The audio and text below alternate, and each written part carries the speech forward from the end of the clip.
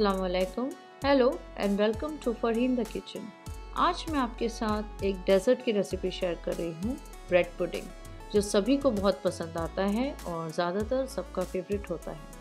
Let's check the ingredients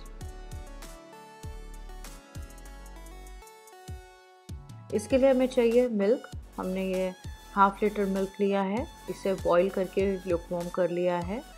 और ये मैंने दो पाँव लिए हैं। हाफ़ लीटर मिल्क में दो पाँव सफिशेंट होते हैं। और अगर आप ब्रेड स्लाइसेस यूज़ कर रहे हो तो फाइव टू सिक्स स्लाइसेस लीजिए ऑफ़ ब्रेड और लेकिन ज़्यादा टेस्ट ए, पाँव का ज़्यादा अच्छा टेस्ट होता है तो आप फ़र्स्ट ट्राई ए, पाँव के साथ ही करें। इसे ऐसे छोटे छोटे पीसेस तोड़ के मिल्क में सोक कर लें। और मिल्क लुक वार्म होना चाहिए, ताकि पाँव अच्छे से सोक हो जाएँ सॉफ्ट हो जाए अच्छे से।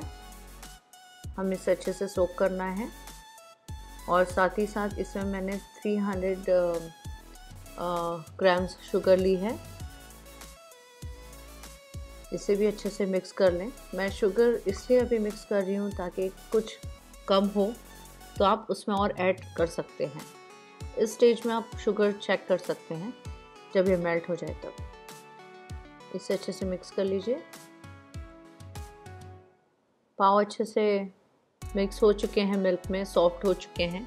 अब मैं इसे विस्क कर रही हूँ। इसे अच्छे से बीट कर लें बीटर के साथ। या आप हैंड बीटर का भी यूज़ कर सकते हैं। इसे अच्छे से बीट करना है ताकि पाँव अच्छे से स्मूथ पेस्ट की तरह हो जाए मिल्क में अच्छे से मिल जाए। थोड़े भी पाँव के पीसेस दिखाई नहीं दें। हमें इसे इतना बीट करना है।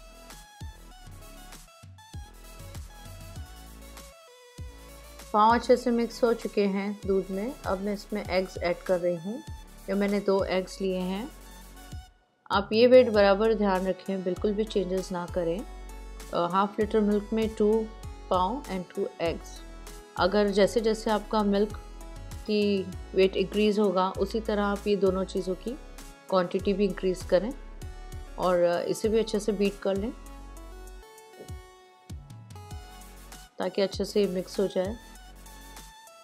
और हमें थोड़ा देर तक इसे बीट करना है।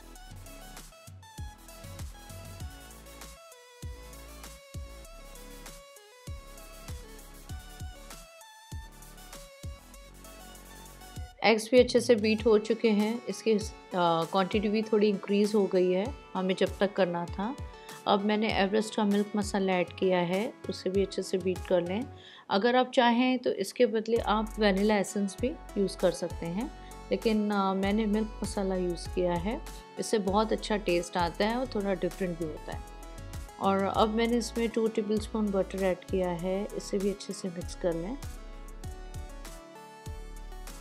वेव को भी प्री हीट करने रख दिया है फॉर टेन मिनट्स और 180 डिग्री पे प्री हीट किया है। उसके बाद में हम टू ट्वेंटी डिग्री पे सेट करेंगे।